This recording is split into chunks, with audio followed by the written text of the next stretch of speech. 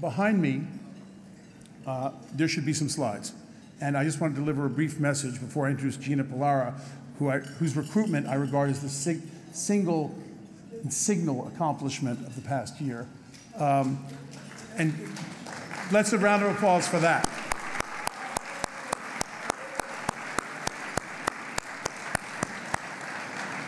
And before she, she, she, she introduces uh, Bill Vanden Heuvel, who, who I must confess, conflict of interest here, hired me for my first job ever um, a long time ago.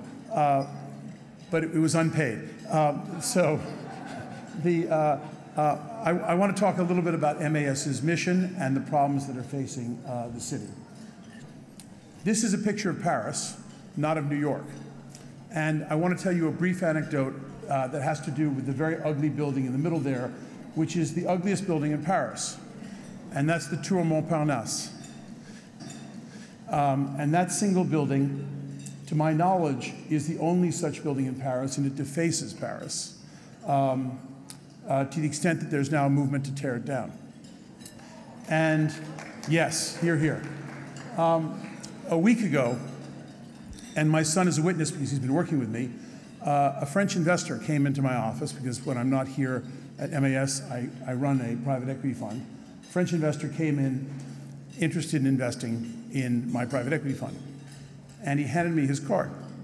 And he's not the actual investor, he represents the investor. He works for the, the family that, that uh, uh, has the money. And um, I noticed on his business card the address was the Tour Montparnasse.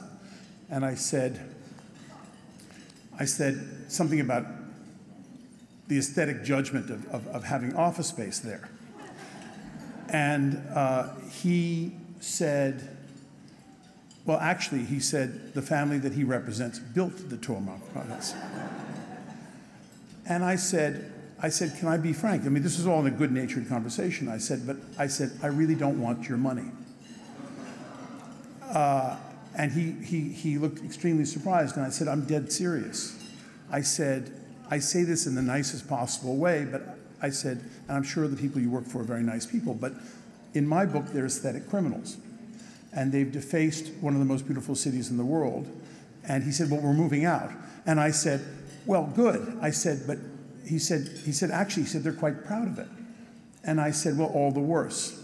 And I said, Look, I said, it's four years until we're open again. I said, You've got lots of time. He said, We're moving out in two. I said, Fine. I said, Come back to me. I said, If you come back to me and tell me that your family has joined the movement to tear it down, I said, We'll talk. I said, Otherwise, there's nothing to talk about. And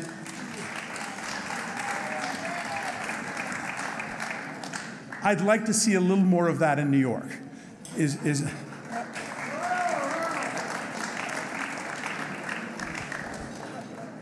um, the wheels don't connect here.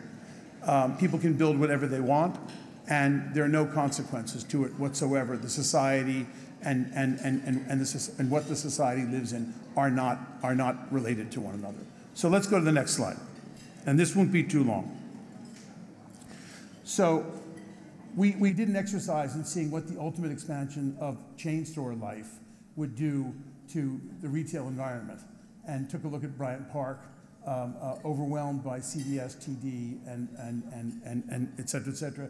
Uh, let's go to the next slide. We even took it larger and said, maybe this is what Central Park will look like, the ultimate chaining of New York. Um, the, uh, um, we are in serious discussions with these institutions about why it is necessary to do this. I had an extremely interesting conversation with the former head of retail banking at one of the biggest banks in the world about why the branch below me in my office at TD is empty all the time. And he said, because they make no money there. He said, because if you're a TD banker, you can't get any business on a loan unless people see the bank. So it's not a business, it's basically a large ad. And we want to have a dialogue with these institutions about why they need to advertise in an architectural form that is despoiling the city. Um, and why does CVS need to advertise that way? If they were in Vienna, they would have to submit themselves to the landscape of the city. Let's go to the next slide. Preservation remains a major tenet of, of, of what MAS does. The Crown building is not landmarked. Let's go to the, it's, it's, it's, it, uh, the, the Roosevelt Hotel is not landmarked. This is the King's Theater in Brooklyn. It's fantastic. It's not landmarked. We are working to landmark these three buildings right now. They're not calendared either.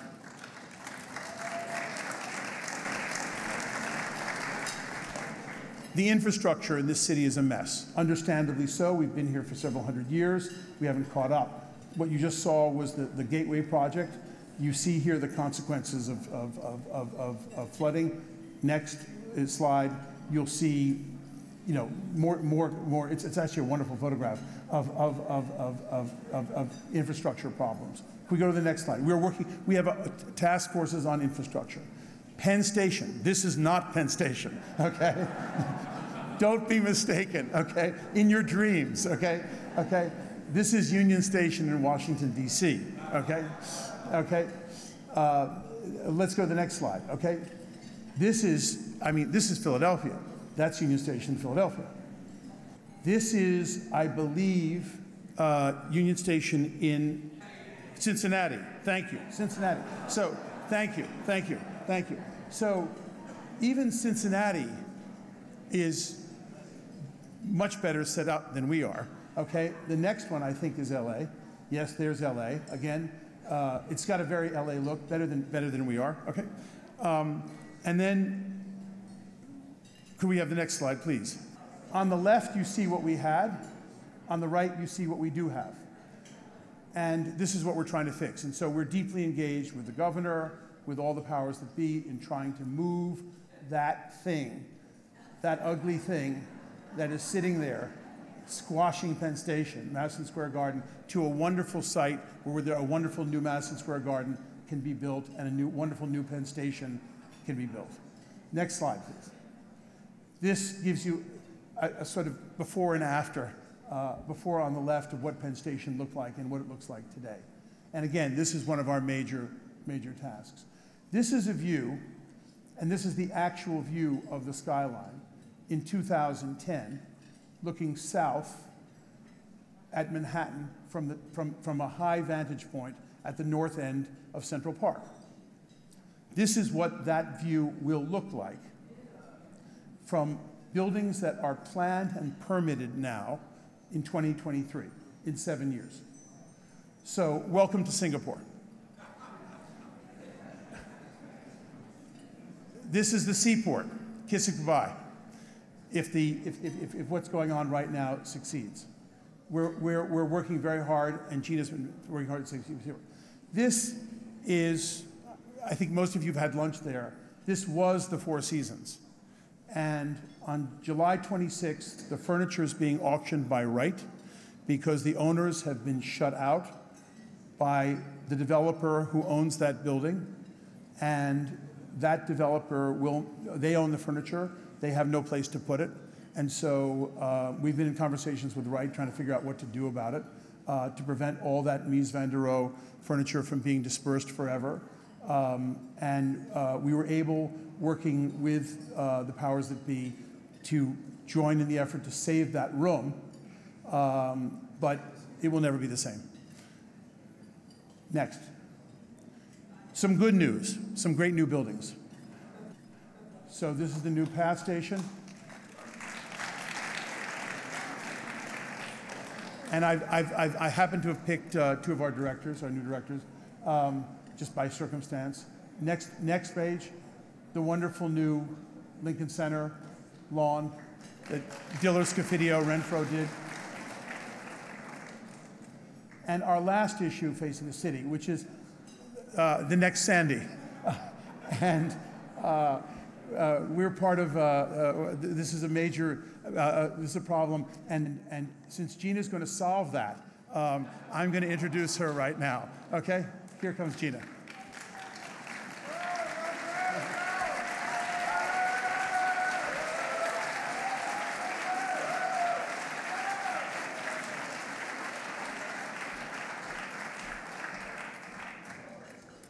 Don't know how I'm going to follow that, but thank you, Fred.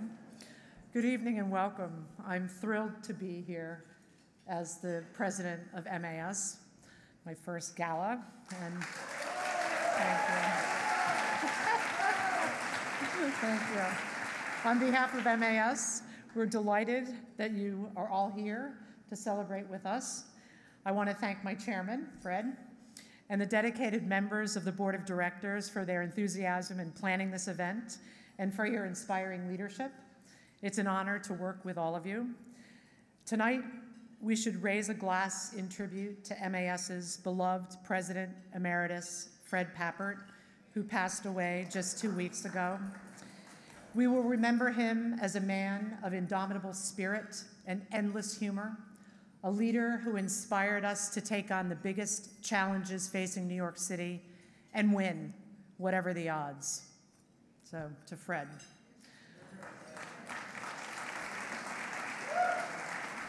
I also want to thank our terrific staff for all the hard work they do each day to carry that tradition forward and for the enormous effort they put into bringing tonight's event together. But most of all, I want to thank all of you for supporting this evening to celebrate a man who personifies our mission at MAS, a true prince of the city, William Vanden Heuvel.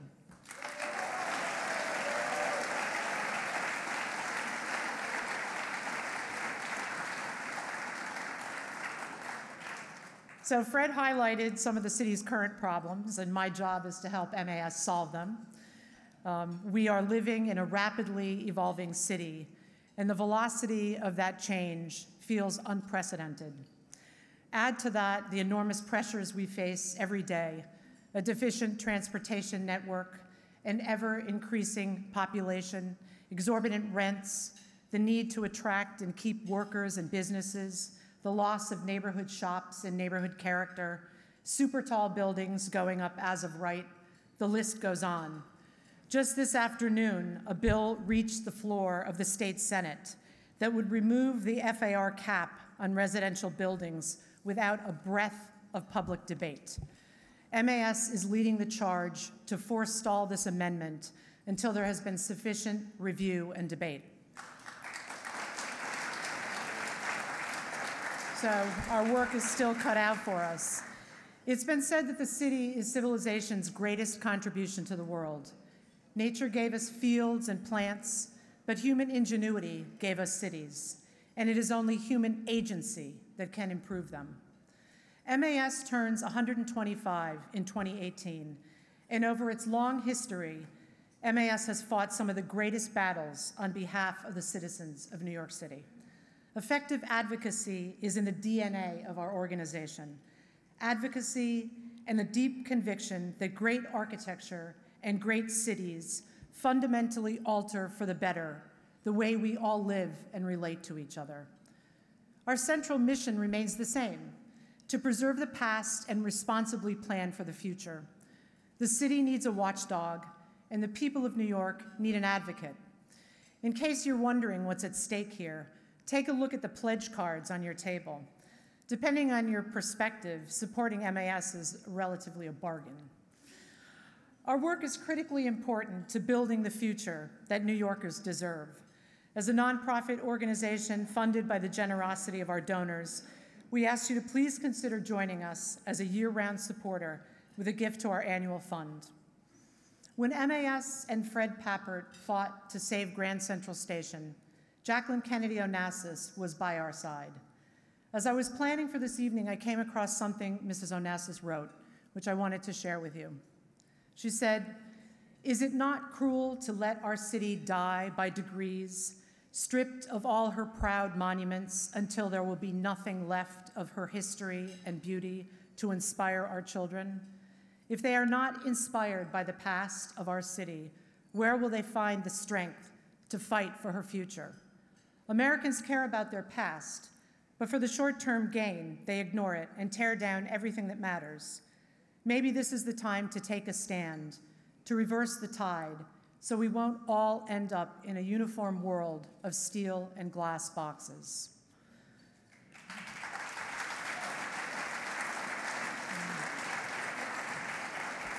These words continue to guide and energize us. They're remarkably relevant even today. Plato said that what is honored in a country will be cultivated there. Tonight is especially gratifying for me because we honor a man with whom I have worked closely and who shares with our former First Lady the conviction that history and beauty must be cultivated to inspire the next generation as well as our own. We believe there's strength in numbers. With your help, MAS will continue to be a voice for this amazing city we all call home. Thank you, and please enjoy your dinner.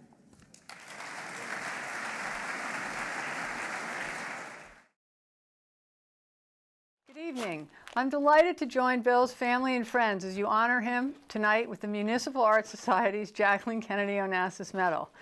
Bill has been a wonderful friend to the Kennedy family over the years, and I know my mother would be thrilled that he is receiving the medal named in her honor tonight. Bill was one of my Uncle Bobby's closest aides in the Justice Department and went on to be one of his top advisors during his presidential campaign.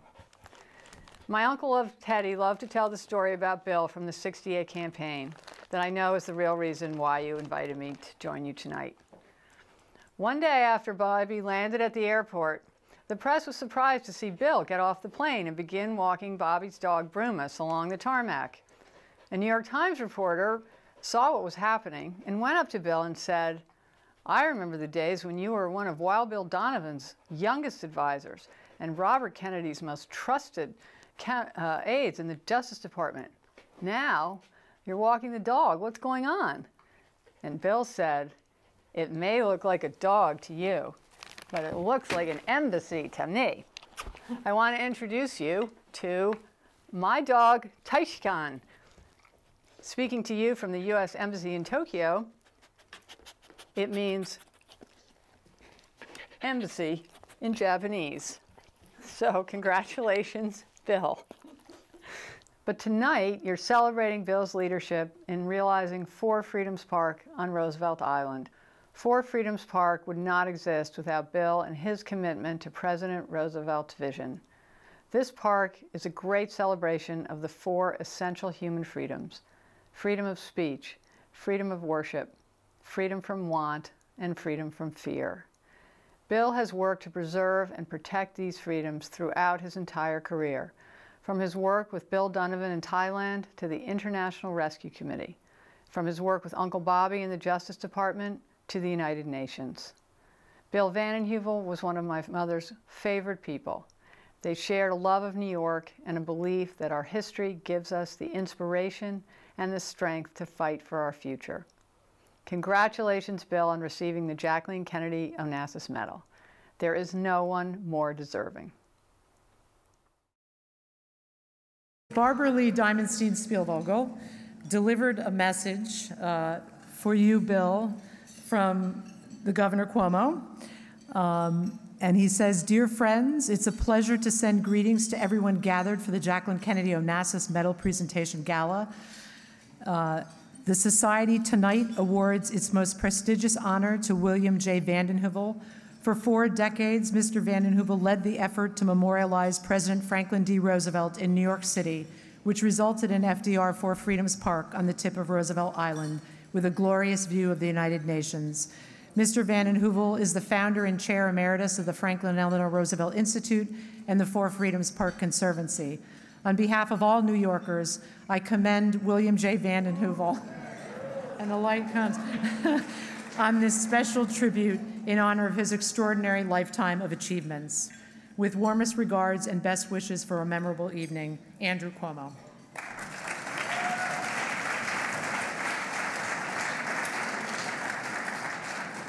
So tonight I have the privilege of speaking about Bill Vanden Heuvel, a man with whom I worked for seven and a half years. I had the honor to serve under him as executive director of the Franklin D. Roosevelt Four Freedoms Park. Every, everyone who tries to build a New York City knows there are many obstacles to overcome.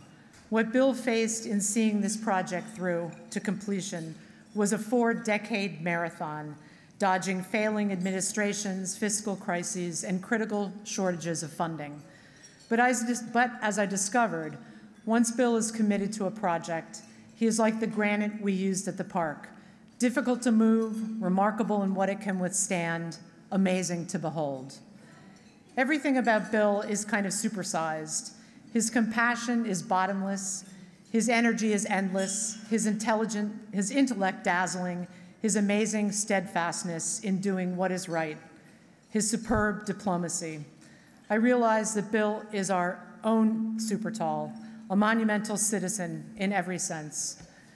My years with Bill were an education, a chance to see idealism in action tempered by brilliant strategy and a refusal to see no as anything but a pause in the conversation.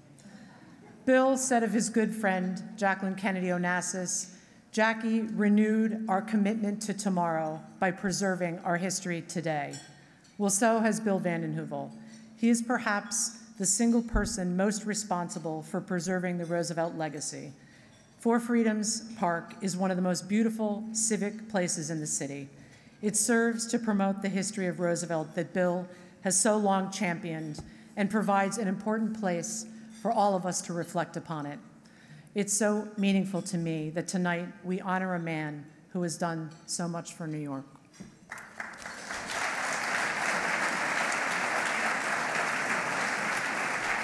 Dear Bill, he's a wonderful man. Someone like Ambassador Vanden Heuvel, you know, comes along once in a generation. He has had an extraordinary impact both on the physical as well as the spiritual dimensions of New York City. He's a very, very funny man and smart and smart as can be.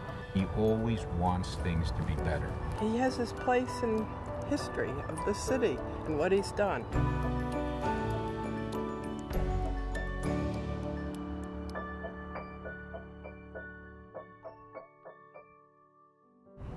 Kennedy Onassis Award is given to a person that has made a great contribution to the city of New York, and I think Bill has done that in a number of ways. Bill has been active on all sorts of different fronts on racial justice, on prison reform, on the United Nations. Was close to Robert Kennedy, was asked by the Kennedys to supervise the change in the Prince Edward County schools in Virginia that remained a bastion of segregation. And Bill went there and was able to turn that around. President Carter appointed Bill as United States ambassador to the UN in Geneva, and after a couple of years, Bill came to New York as the deputy United States ambassador to the UN here in Turtle Bay.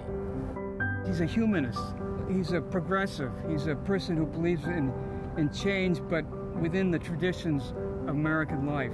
Bill has literally devoted his whole life to promoting and projecting the legacy of FDR and social justice. But the crowning glory is definitely the Franklin D. Roosevelt Four Freedoms Park. It's hard to build anything in New York City, but building a memorial designed by Louis Kahn in the middle of the East River, in the middle of a recession, is obviously an enormous undertaking that probably could never be done by anybody except Bill Vanden Heuvel. The 28 columns that make up the room, they weigh 36 tons each. They're too big to bring over the bridge. We had to barge them up the river. This is the biggest stone project in New York City, perhaps ever. The four freedoms that FDR enunciated were very clear freedom of speech and expression, freedom to worship God in one's own way, freedom from want, and freedom from fear. And when you think about it, if everyone in the world had those four essential human freedoms, they would want for nothing. It represents something which it's easy to be cynical about. There has to be something that is a rudder uh, that keeps the ship on course, and this represents that to me. What do I love about this park? I love that it's so serene. I love that it's so contemplative, but I love that it's Kahn, and I love that it's Franklin Roosevelt. I, I just love coming up those stairs, looking down the lawn, and seeing that alley of trees. To me, it's that's the awe moment of the park And when you come through those trees and you come into this room and the horizon opens up in front of you, suddenly you're really confronted by your own freedom, which is very much, I mean, this is the Four Freedoms Park. We are a nation of free people, and this experience of freedom that you get in this memorial really is a responsibility. I think my father and Bill have a similar understanding of the importance of words. Bill realized that by building this memorial, those words would really mean something. And my father realized it too in the sense that you don't see words on the walls. See words as you turn to go. You take them with you. This was the vision of Franklin Roosevelt to say, and now we have to create that for the whole world. I believe that th this message, together with the extraordinary beauty of the project that's going to be created, be a world monument. And to have the four freedoms as a theme is really so wonderful. It was the first time a, a world leader had ever spoken in those terms. And you can't imagine how that ignited the world's imagination. These are the freedoms that are the foundation stone of America. Let them be the foundation stone of the world, too. That's what Roosevelt intended. Bill literally spent half of his life on this single mission. And it is a lasting, permanent gift to the city. And to have gotten this built at this time, a time when we truly need that message, it's a great, great gift to New York, to America, to the world.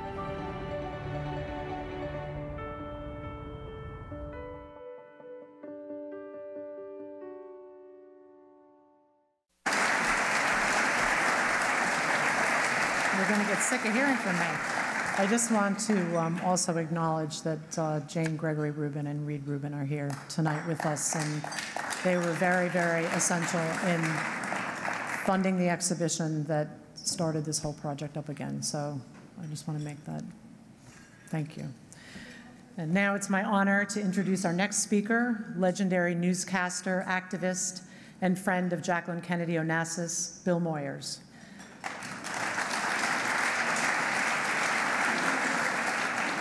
From the earliest days of the Peace Corps to the Great Society projects to the founding of PBS and NPR, Bill was witness to and instrumental in some of the most revolutionary projects of the Kennedy and Johnson administrations.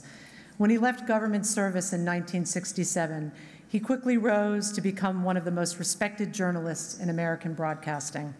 His investigative reporting on everything from poverty and government corruption to faith and peacekeeping made him the face of public broadcasting for millions of Americans. His friendship with Jacqueline Kennedy Onassis spanned more than three decades and countless campaigns on behalf of New York City. In 1987, along with his wife Judith, Bill raised an umbrella with MAS, Mrs. Onassis, and 800 fellow New Yorkers to protest the proposed Columbus Circle Tower that would have cast a shadow a mile long across Central Park. Sound familiar?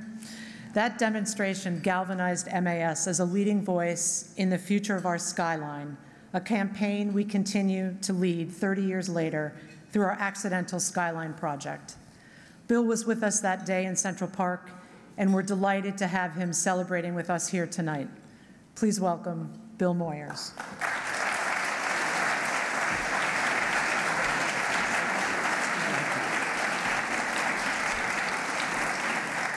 Thank you. Thank you very much, Gina, for that very generous introduction, and thank you for that very generous welcome. I, I don't deserve them, but I have arthritis, and I don't deserve that either. Uh, I also have glasses I can't see through because a week ago I had some corrective surgery for uh, a vision problem that didn't go quite well, and um, and my glasses you saw me with for 44 years on the air don't work anymore. So these I actually had back in the Kennedy Johnson administration, and I think they may be very appropriate. I am delighted. You'll have to excuse me because you won't recognize me when I put these on. People are always coming up. They used to come up and say, I know you. Who are you? Now, since I retired last year, they come up and say, I know you. Who were you? And uh, so I'm okay with these glasses. Now, I am, after all, a journalist. One of those people George Bernard Shaw said could not distinguish between a bicycle accident and the collapse of civilization. Uh, I prefer to say that we journalists are merely beachcombers on the shores of other people's knowledge and other people's experience. I once taped a conversation with the literary critic George Steiner in which he compared the critic to a tiny pilot fish in which preparing the way for the giant creative specimens. The role is very exciting, he said, but distinctly minor. So it is with journalists, and tonight I'm merely preparing the way for a greater specimen. Thanks to all of you who have gathered here to honor the indispensable Municipal Arts Society and the indefatigable Mr. Vanden Heuvel, who will receive the inestimable medal named after the indescribable Jacqueline Kennedy Onassis. My own life my own life has been touched by all of them. I met Jackie Kennedy during the campaign of 1960, immediately after the convention in Los Angeles. LBJ, with a small group of us, flew uh, to Massachusetts, Kennebunk, so that he and JFK could map their strategy. The two candidates walked the beach for two or three hours, and about 20 yards behind, I walked the bench with Mrs. Kennedy. I had by far the greatest time that day. When I moved to New York in 1967, she became my editor at Doubleday. It was her idea to publish a book based on the conversations that I did at George Lucas's Skywalker Ranch with Joseph Campbell on the power of myth. She turned it into a bestseller along with a book we did together on poetry, The Language of Life, and a book about the impact of emotions on health called Healing in the Mind. She said to me, Poetry and emotions I know about. We did, as Gina said, march side by side in Central Park with Kent Barwick under the banner of the Municipal Art Society in that famous Stand Against the Shadows demonstration in 1987. We didn't win the war, but we did win the battle. And the sunlight, air, and space of our commons got a measure of reprieve from the assault on Central Park. We were asked by a reporter, Why are you doing this? The Gulf and Western building stands there. Other tall buildings march along Central Park West and Central Park South. What harm is there in one more? Jackie and I said in response at that press conference that more of the same is not always better. That the last load that snaps the pylon of the bridge is of a different order from the first weight to tax it. The first building on the block does not mean that a second, third, and fourth can be as welcome with the same alacrity or reward. The first change may be welcome, the second, understandable if annoying. The last one, fatal. How much weight can a bridge stand? So we ask, what kind of change is it that robs children of sunlight in the playground, that steals half an hour from a short winter's day, that throws a manufactured cloud across a resurrected spring as we are coaxed from our long hibernation. When is enough enough? And what if we don't draw the line before drawing the line no longer matters? So we raised our umbrellas, more or less a thousand strong, and spread around Columbus Circle and across the park. It was a formidable sight and a strong message to owners and developers, officials, and unions. If you consider New York a place to live in and not just a rock to build upon, if you care what is happening to its human scale, to the air, the sun, the space that nurture us, if you want to guard this precious piece of our common wealth, and if you care that the only flag now flying above the city is a price tag, then let's declare that some things are not for sale. We.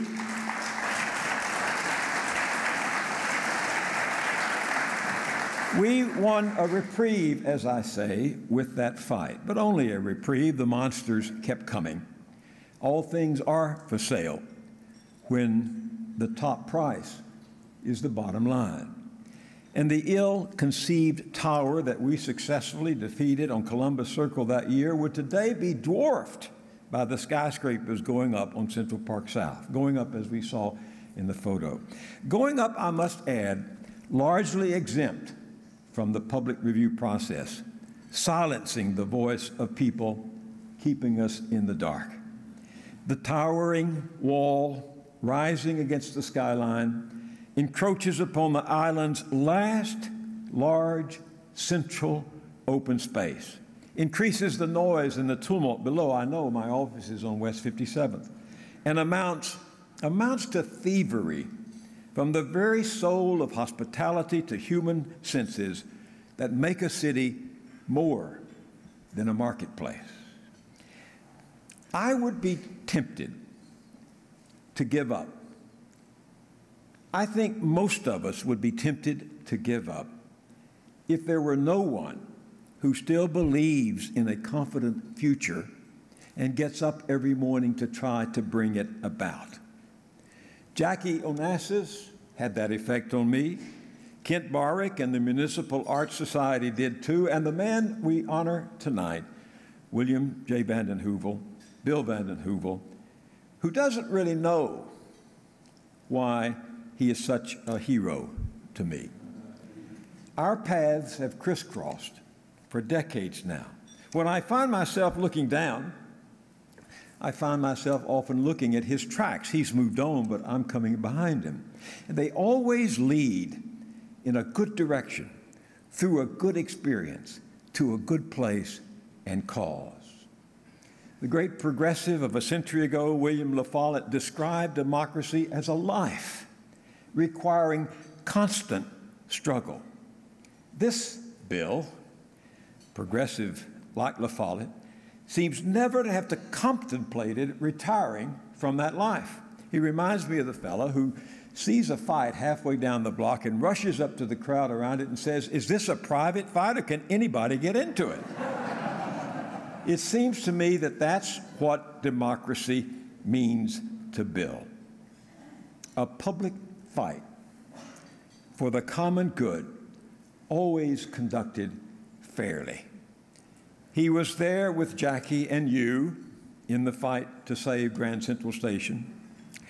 And that little plot of inspiration and illumination at the tip of Roosevelt Island, we owe that to Bill's vision, fortitude, and persistence in the campaign he waged 40 years to create a memorial to Franklin Delano Roosevelt. Thinking about tonight, when I didn't have glasses and was waiting for the light, thinking about tonight, I realized that of the many things that I admire about this man, I most revere his belief in the power of memory, of a usable past. The legacy, say, of a Roosevelt to which Bill has been so committed.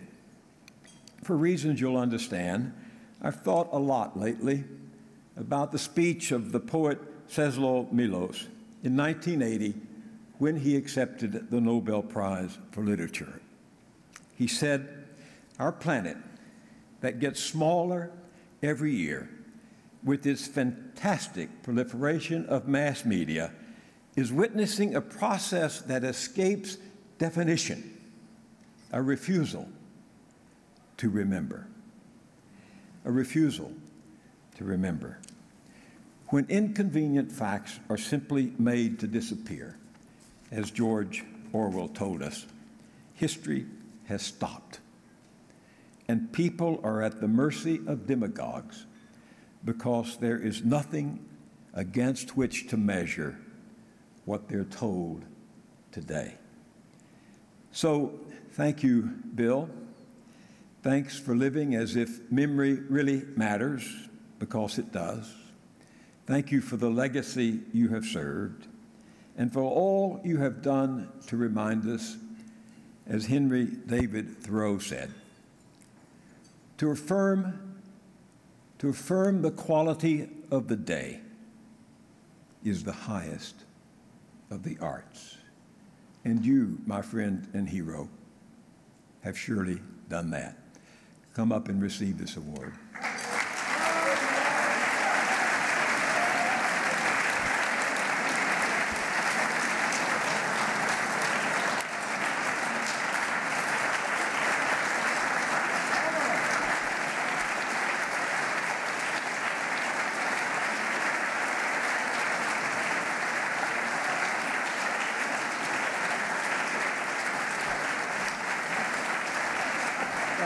Great, great, thank you. Thank you. Bill.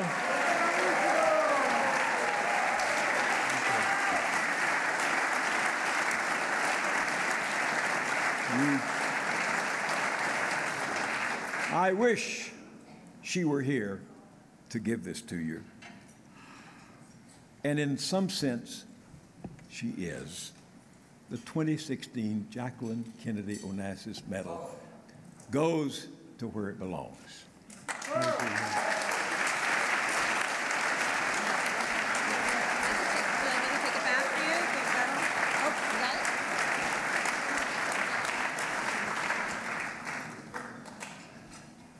Bill, thank you for those extraordinary words and that message to everyone here tonight. What has been said is, means so much to me, and I'm very grateful. Uh, first, let me begin by thanking Matilda Cuomo for being here tonight, the widow of a great governor, mother of a great governor.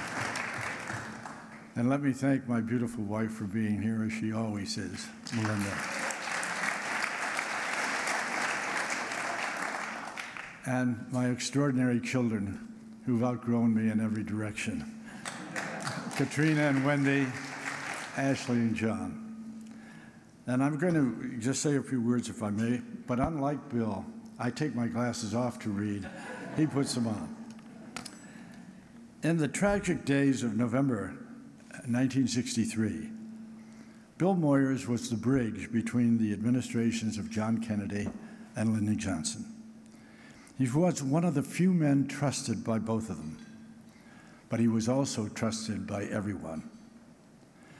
With their work, Bill and Judith Moyers have created the curriculum of liberal democracy. And I'm honored by this award this evening, but I'm doubly honored that it was presented to me by Bill Moyers.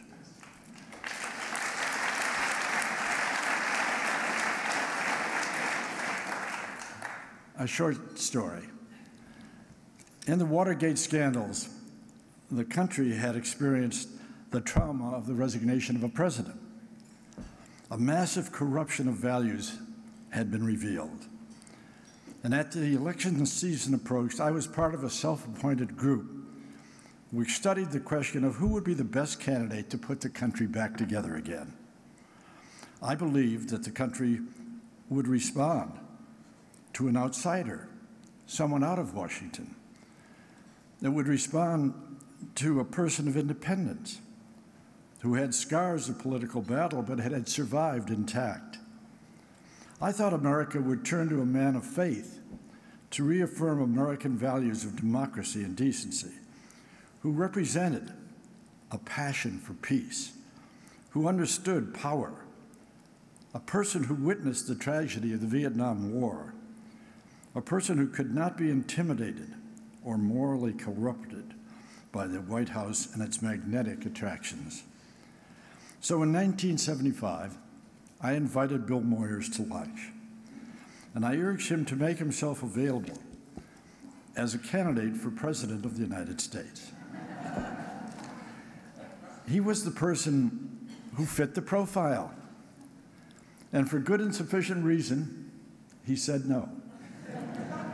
I've always regretted that decision by Bill Moyers. Bill Moyers would have been a great president.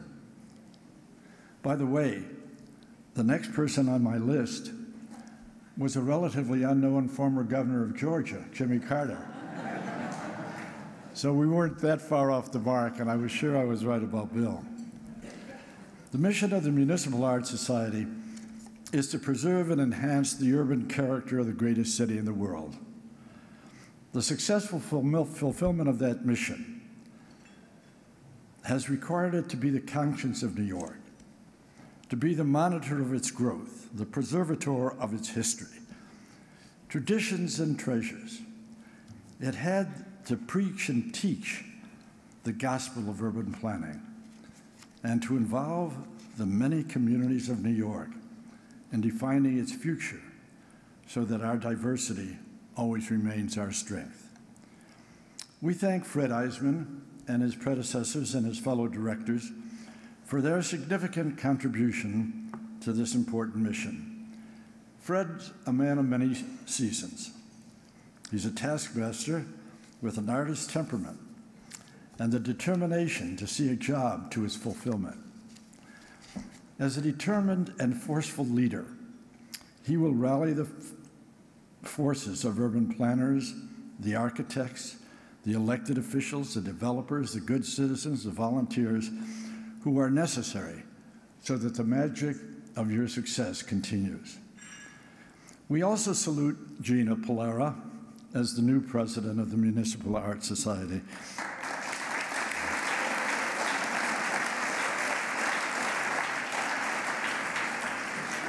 Gina was an indispensable partner in building the Four Freedoms Park.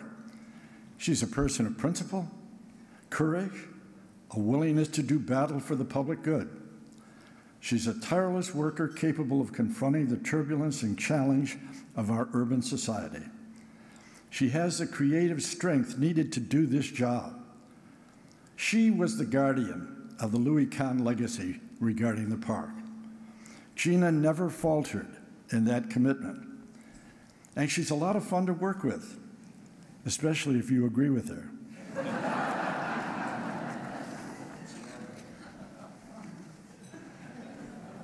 the preservation of Grand Central Terminal is but one example of the work of the Municipal Art Society, but an example that reminds us every day of the necessity to have a watchdog at the gates to save who we are.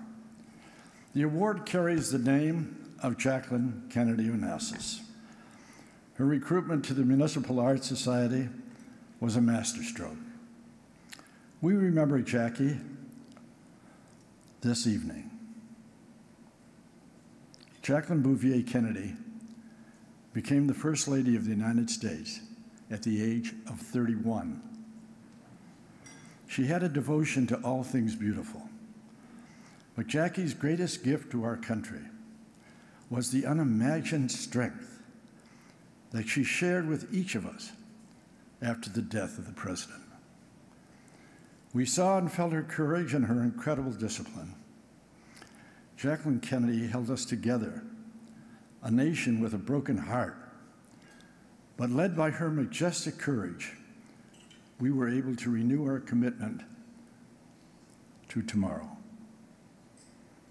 In 1975, Jackie, once more living among us New Yorkers, became a public voice for MAS, a responsibility she took very seriously, and it meant so much to her.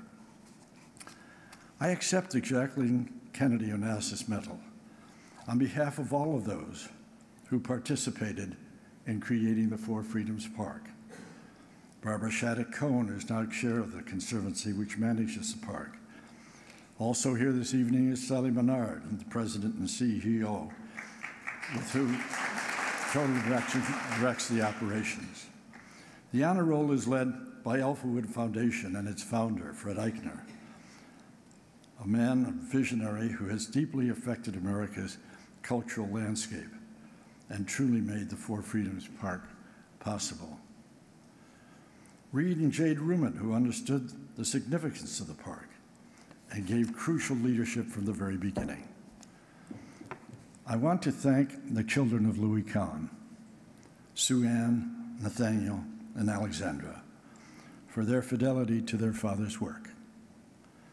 And we thank Nathaniel especially for his extraordinary video of his father's life, which won national honors and brought us supporters from all over the world. There was always agreement that this memorial to Franklin Roosevelt would be called the Four Freedoms Park. The Four Freedoms brought the past and the present together.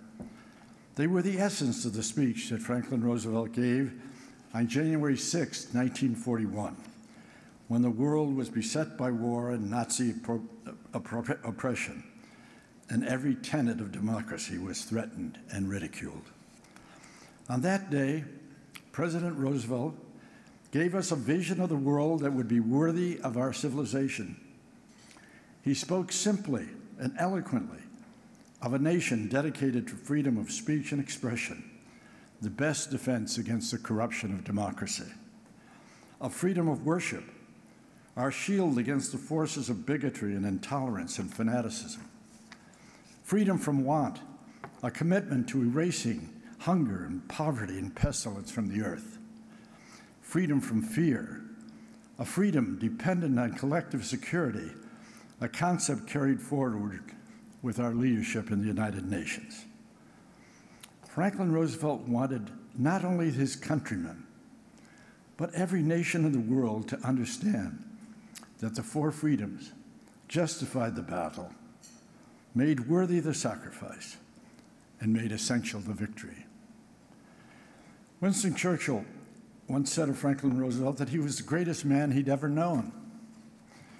Franklin Roosevelt was the voice of the people of the United States during the most difficult crises of the 20th century. He led America out of the despair of the Great Depression. He led us to victory in World War II. Four times he was elected President of the United States. By temperament and by talent, by energy and instinct, Franklin Roosevelt was ready to the challenges that confronted him. He was a breath of fresh air in our political life, so vital, so confident, optimistic, so warm, so good humored. He was also a man of incomparable personal courage. At the age of 39, he had been stricken by infantile paralysis. His family and friends despaired of his recovery, but he accepted the devastating challenge. And with infinite patience, he learned to move again, to stand again, relying upon the physical support of others, never giving in to despair or to self pity. And just 12 years after he was stricken, he was elected president of a country itself paralyzed and by the most fearful economic depression of our history. He replaced fear with faith, transforming our government into an active instrument of social justice. It was a time when heroes were possible, when idealism was admired, when public service was the highest calling. Franklin Roosevelt made America the arsenal of democracy. He was the commander in chief of the greatest military force ever assembled. He crafted the victorious alliance that won the war. He was the father of the nuclear age, and he guided the blueprint for the world that was to follow including his vision for the United Nations. Almost 550,000 visitors from all over the world have come to the park. They have come to share a vision that brings yesterday and tomorrow together, to tell their children stories about the history of our country and those who have led us, to watch the river, to see the ocean, perhaps even to subdue the turbulence of their lives. Franklin Roosevelt once said that when you get to the end of your rope, tie a knot and hang on. the Four Freedoms, the Fort Freedom Park, is a great place to hang on. The legacy of Franklin and Eleanor Roosevelt will be a major battlefield in the months ahead. We are very proud that the battle of this presidential year began almost a year ago in Four Freedoms Park when a glass ceiling was broken, as it was again last night by the person who deserved it.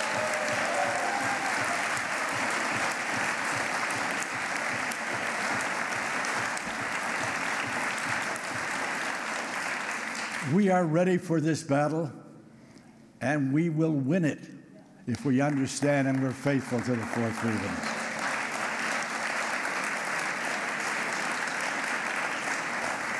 This republic will endure, said Franklin Roosevelt, as it has endured. But it must endure under the leadership that understands our Constitution and is prepared to protect our values and that cherishes our leadership in the world today. Thank you for this award. Thank you for your devotion to our beautiful New York. And go to the Four Freedoms Park. Feel the wind and the rain. Embrace the sun and the shadows. And hear this message We are not afraid. We are not afraid and happy days are here again.